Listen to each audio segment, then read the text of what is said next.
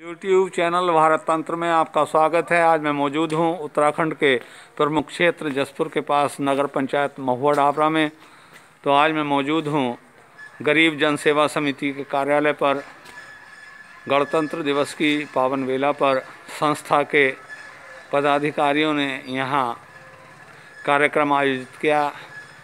अब इसके संबंध में हम समिति के पदाधिकारियों से बातचीत करेंगे।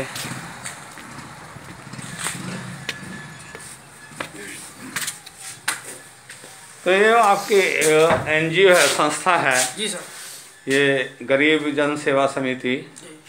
तो आज गणतंत्र दिवस की पावन वेला पर आपने जो कार्यक्रम आयोजित किए हैं उनके बारे में बताइए। आज हमने गणतंत्र दिवस पर एक तो हमने ध्वजारोहण किया फिर कुछ लोगों को 200 कंबल बांटे मार्क्स भी दिए और हम लोगों को कैलेंडर भी दिए। इससे अच्छा ध्वजारोहण भी किया आज ध्वजारोहण भी किया। अच्छा अच्छा। तो ये संस्था आपकी ये किस क्षेत्र में काम कर रही है? अभी हम लोगों को गरीबी क्षेत्र में काम कर रहे हैं लोगों को हम दवाइयों में सत्तर परसेंट छूट दे रहे हैं। लैब टेस्ट में हम लोगों को फिफ्टी परसेंट डिस्काउंट दे रहे हैं। और हम लोगों को ultrasound C T scan M R में ट्वेंटी फाइव डिस्काउंट दे रहे हैं। इस क्षेत्र में हमारे काम हम काम कर रहे हैं। अच्छा तो इसमें जो है आज जो आपने कार्यक्रम आयोजित किया तो ध्वजा ध्वजारोहण किसने किया? और हम मैंने किया अध्यक्ष।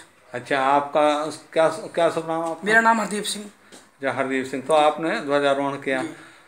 अच्छा तो आपकी संस्था जो है तो इसका मेन उद्देश्य क्या है?